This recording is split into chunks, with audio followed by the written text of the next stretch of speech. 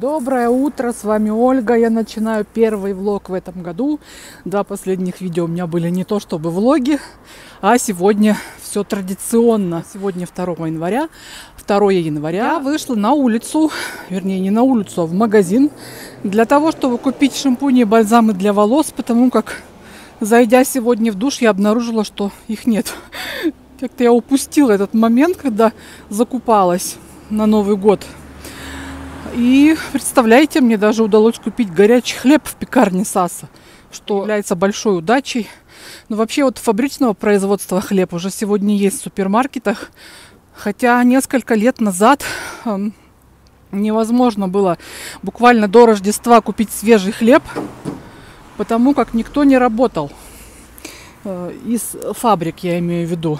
Но в последние, наверное, года четыре хлеб стал появляться после 3 а, января, а вот сегодня 2 уже есть, представляете? Вот. И вообще раньше была такая мода, не знаю, люди столько накупали всего на Новый год, что продуктов им хватало до самого Рождества, и выходили они в магазин как раз 5 числа накануне Рождества, и многие магазины были закрыты, и даже рынок был закрыт, вот наш Комитасовский. Но 5 они открывались, потому что но пятого они открывались, потому что рождественский стол, он другой. Э, там готовят рыбу, зелень и э, плов сладкий, который вот на Пасху еще готовят. Кот орет, ломится в дом, наверное, вышел прогуляться. Сейчас вопит, чтобы мы дверь открыли. А, вот.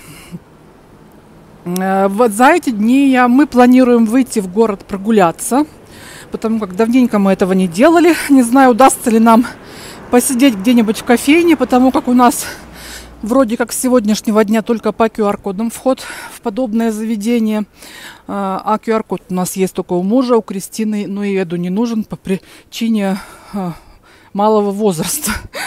А мы с Арминкой в пролете. Ну, по-любому, даже если мы не зайдем в кофейню, на улице полно точек, в которых продают кофе на вынос, так что не пропадем. У нас продолжает идти такой мелкий колючий снежок. Кое-где он лежит, но в основной своей массе не лежит. Тает, то есть на асфальте. И вот как он ночью начался вчера, так и потихонечку падает, падает. Хотя были такие года, когда вот утром, я помню, как-то раз мы проснулись, дети еще маленькие тогда были, снегу было по колено. И он валил такими крупными хлопьями, прямо вот как в Сибири где-то. И они проснулись, мы вышли на детскую площадку, они там снеговиков, в общем, лепили. В общем, было весело им тогда. Наверное, в горах-то сейчас полно снега, там в Сахкадзоре, например. Ну и плюс я еще купила кое-какие продукты, потому как э, много чего у нас после вчерашнего нашествия закончилось. Все, я сейчас иду домой и будем завтракать. Кстати, когда вчера пришли э, финальные, так скажем, гости, это была наша крестница с родителями Кира, вы ее видели в моих влогах. Эд попросил жареной картошки, и я, в принципе, пожарила ее много, чтобы поставить еще на стол. И все такие, о, жареная картошка. Потому как э, первого числа нет никаких, так скажем, жареных картошек и таких э, повседневной еды, а есть в основном то, что осталось 31-го. И слава тебе, Господи, я сегодня себя уже хорошо чувствую, что меня очень радует, потому как я устала от этой, когда от э, плохого самочувствия, да еще необходимости вот этой вот во время плохого самочувствия не лежать, а заниматься делами, принимать гостей и так далее. Ну, сегодня уже все хорошо, к счастью, но все равно я вот смотрю сейчас э, на себя. Малость я отекла, так скажу. Вот это от недосыпу, по всей видимости, от усталости, потому как а, алкоголь-то я не пила. Я за эти два дня, 31 первое, три бокала шампанского выпила и все. Я уже дома. Накрыла на стол, мы завтракаем. Вот такой вот хлеб я купила в этом в Сасе. Такие вот булочки горячие были. Но это не булочки, это хлеб именно. Наломала вот так вот. Не стала резать. Все по-простому, в общем. И что я вам хотела показать? Я когда стол новогодний показывала, сказала, что вот блюдо посуд с долма, да, но, но не все знают, у меня же не только армяне зрители, что это такое. Значит, это берется э, капуста целым кочаном, лучше, чтобы это была большая, и маринуется целиком, то есть целая капуста, целый, вернее, качан капусты. И затем вот в этот лист начиняется начинка, которая состоит из различных бобовых культур. Здесь нут или турецкий горох, здесь фасоль, здесь чечевица. И склеивается все это кускусом это готовит это ада, и в принципе процесс приготовления я не особо знаю, но знаю, что туда добавляется томатная паста, это все тушится на растительном масле, потом заворачивается вот так в листик.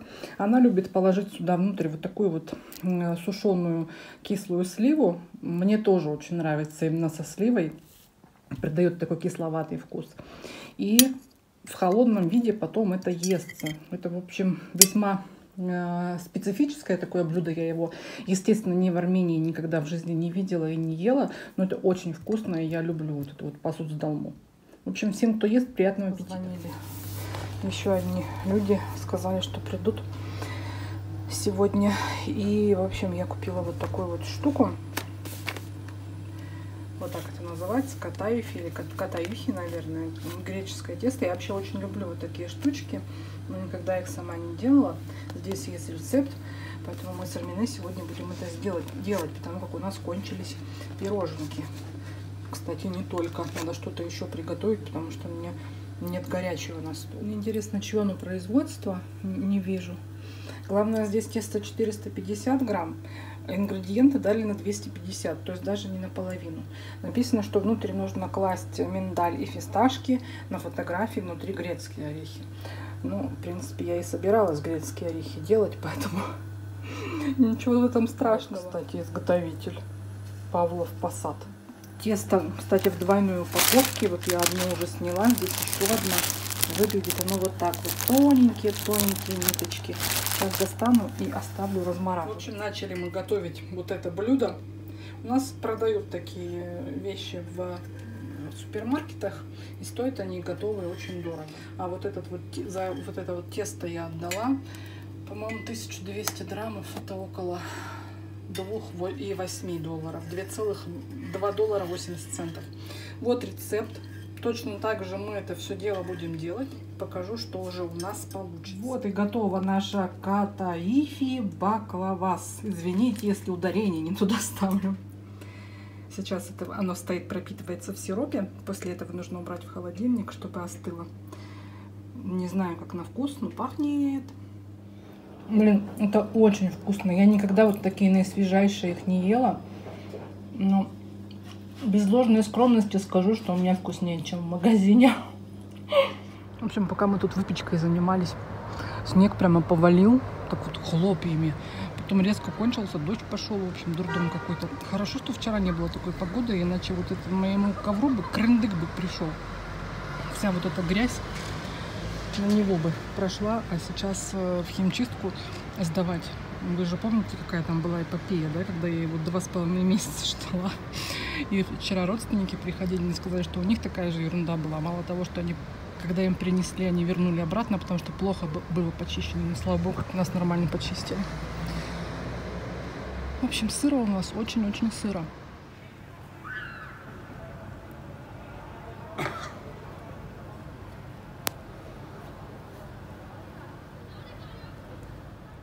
Снег у нас разошелся не на шутку.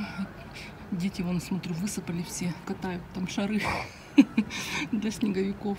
И, конечно, в свете этих, э, кто они там, фонарей, все это блестит, сверкает и, конечно, сказочно. Но меня не покидает одна мысль. Кристине завтра с утра на работу, как она поедет. Потому как ну, в Ереване это стихийное бедствие, я не знаю. Завтра будет общественный транспорт работать. Потому что такси в такую погоду стоит немеренные деньги. У нас ни свет, ни заря. Сейчас буду Кристину будить. Сама готовлю ей а, завтрак. Сейчас сделаю оладьи кабачковые. А это я на борточе приготовила тоже сейчас с собой, чтобы она взяла на обед. Смотрите, какой у нас запас конфет. Это еще мы раздали. Вот эти вот батончики. Я, честно говоря, еще не попробовала. Не дошло до них дело. Это от Pixie Sticks вот столько осталось. Детям вообще всем понравилось. Это вот такие вот, что было в большой коробке. Жевалки очень вкусные, органические. Вот это вот вообще милота несусветная. Там все картинки разные на них были. Но почему-то вот у нас одни мумитроли остались. Тут были разные-разные герои. И конфеты тоже неплохие. На типа коробки, только э, такие немножечко более тянущие. Вот такой еще есть тут чувачок. Ну, это наши любимые, классические. В общем, что тут только нет. Чего тут только нет. Насколько нам этого хватит, этих остатков? Ого-го. Наверное, до 8 марта. Проводила Кристину на остановку. Думаю, вдруг-то никого не будет. Нет, вон, слава тебе, Господи. Автобус пришел. Припоздал, правда, немного, но есть. У нас на улице минус 5. Снег такой влажный. Ну, как бы он не то, чтобы прям завалило. Так, сколько тут? Сантиметр на, на 3 насыпала и все. Все, я возвращаюсь домой. Гулять, наверное, сходим в Яроспарк. Ой, воздух такой, слушайте, свежий. На небе не облачко, то есть снега больше не будет. Походу этот весь будет таять. Мы пошли гулять в Яроспарк. И у нас здесь в качестве посыпки от гололеда используют туфовую крошку. И мало того, что она создает вот такой вот коричнево-красно-серую грязь на дороге. И все эти мелкие камни забиваются в обувь. В общем, ужас какой-то. Хотя, знаете ли, и так не скользко, потому что температура около ноля и снег не скользкий. Зачем вот эту грязь было разводить, непонятно. В парке здесь не посыпали дорожки, поэтому здесь чистенько и красиво. И не скользко. У нас тоже есть елки в снегу. Конечно, вечером здесь красивее. Вот шары с подсветкой кругом, и елка светится. В прошлом году не было вот этих шариков.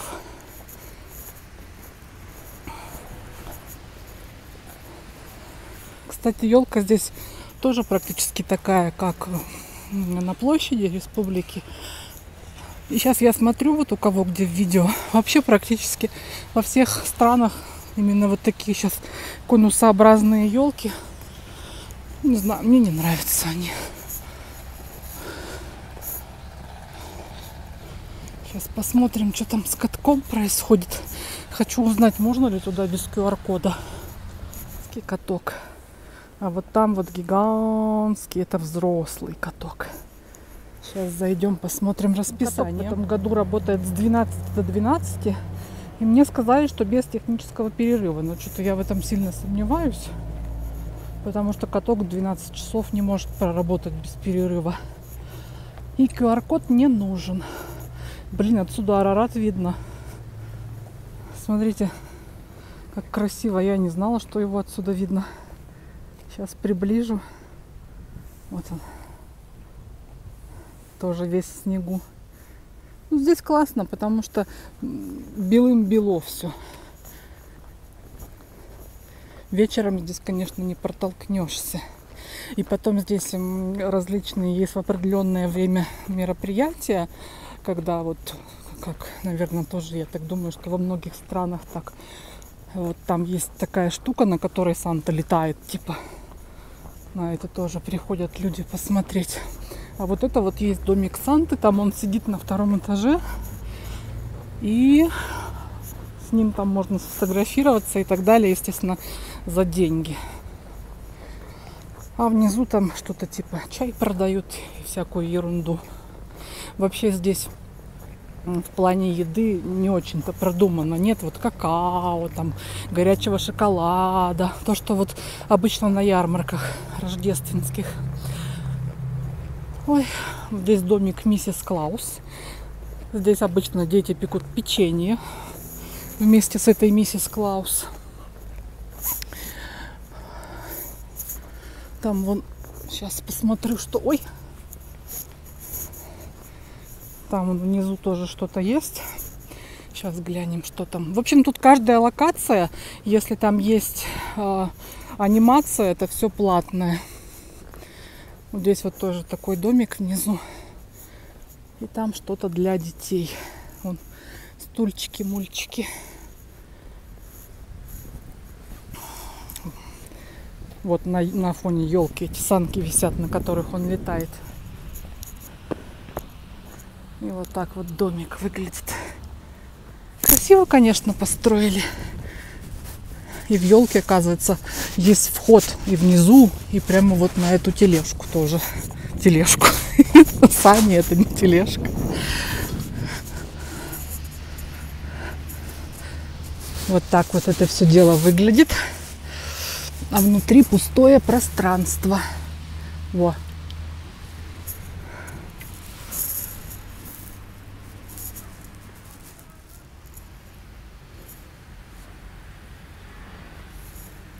Небо, смотрите, какое. Вот кафе, это меня в прошлом году приглашал. Там, кстати, очень красиво, так тоже места для фотографий много.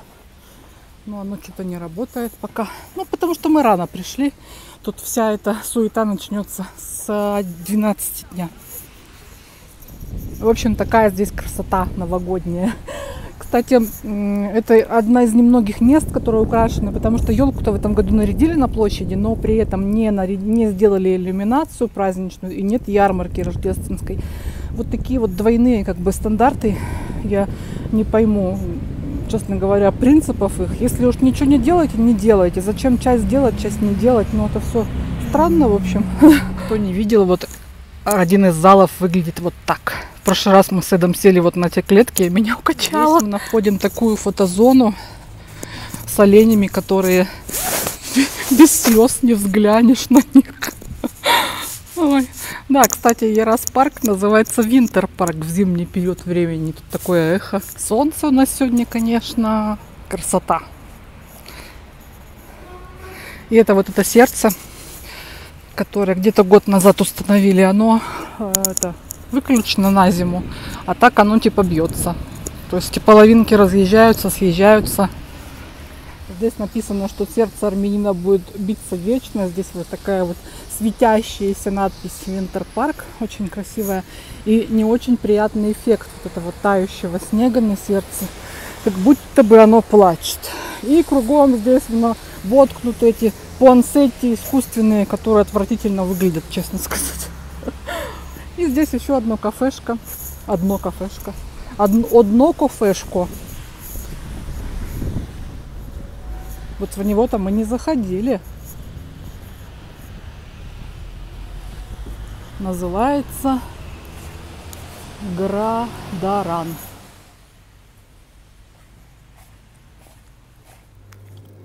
Я тут по-быстренькому Эду варю чечевичный суп, потому что он у меня любитель супов, а чечевичный это его любимый. У меня времени нет варить там бульон, то все. Я взяла, у меня такой кусок вырезки есть, и таким на азиатский манер нарезала вот на такие вот строганинку, так скажем. И сейчас это в кипящий бульон, где уже лежит все, и заправка, и картошка, и сама чечевица. Сейчас вот это накидаю туда, тогда она быстро сварится. К моменту, когда сварится чечевица, и мясо тоже будет готово. У нас уже вечереет, и, пожалуй, на этом я буду заканчивать свое видео. Кому оно понравилось, пожалуйста, ставьте лайки, подписывайтесь на канал, оставляйте свои комментарии. Всем здоровья и удачи, пока и до новых встреч!